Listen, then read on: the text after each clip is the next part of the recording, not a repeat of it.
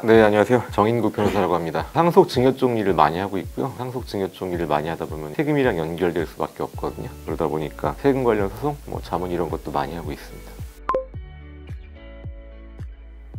조세특례 제한법이라고 그래가지고요 청년들이 실업도 많고 대기업 취업하기도 어렵잖아요. 그러다 보니까 창업을 촉진하고 있거든요. 청년 창업에 대해서 파격적인 세제 혜택을 두고 있습니다. 청년이 수도권 과밀억제권역 바깥에서 창업을 하면요 5년 동안 소득세를 100%를 면제해 줍니다. 수도권 과밀억제권역 안에서 창업하게 되면요 약간 덜하긴 하지만 그래도 소득세 50%를 감면해 주고요. 이걸로 끝나는 게 아니거든요. 창업을 하려면요 창업을 하는 장소가 있어야 되잖아요. 창업하려는 중소기업이 수도권 과밀억제권역 밖에서 부동산을 취득하게 되면요 그 취득세를요 75% 4분의 3을 감면해 주는 거죠 그리고 해당 부동산 취득하면은 보유하고 있는 동안 재산세 내야 되잖아요. 이것도 3년간 면제해주고 2년간 50% 감면합니다. 또 법인 설립하는 경우에는 등록 면허세라는 걸 내야 되는데 이것도 안 내도 됩니다. 그러다 보니까 유튜버들이 과밀억제권역 밖에서 창업을 해야 되는데 좀 인프라 좋고 서울이랑 가까운 곳이 어디냐 대충 두 군데라 그러더라고요. 용인이랑 인천 송도 이 두 군데가 제일 핫하다고 합니다.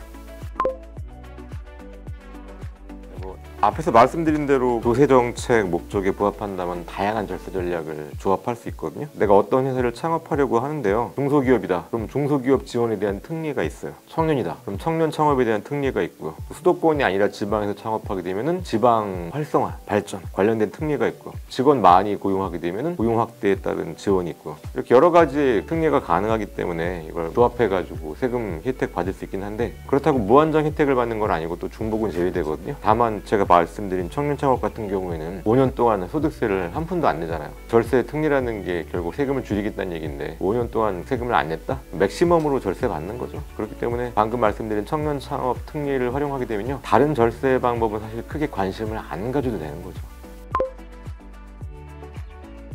그 청년 창업 세액 감면 제도가 아주 핫하잖아요. 이거를 과세관청도 알고 있거든요. 감면받은 세액이 2023년도에만 5천억이 넘는다 그러더라고요. 그러다 보니까 혹시 절세가 아니라 탈세로 악용되는 건 없는지 지금 과세관청이 관심 가지고 있거든요. 뭐 어떤 편법 사례가 있냐면은 과밀억제권역 밖에서 창업을 해야 되는데 실제로는 창업도 안 하고 그 지역으로 위장 전입한다든지 그리고 과밀억제권역 밖에다가 본점을 두기는 했는데 실제 사업은 다 서울에서 하는 거죠. 이게 적발되게 되면요. 감면받은 세액 모두 토해내야 되고 이자 상당 가산세까지 물게 되거든요. 그렇기 때문에 본인이 하고 있는 게 뭐 절세인지 아니면 그걸 넘어 탈세인지에 대해서 조심할 필요가 있어 보입니다.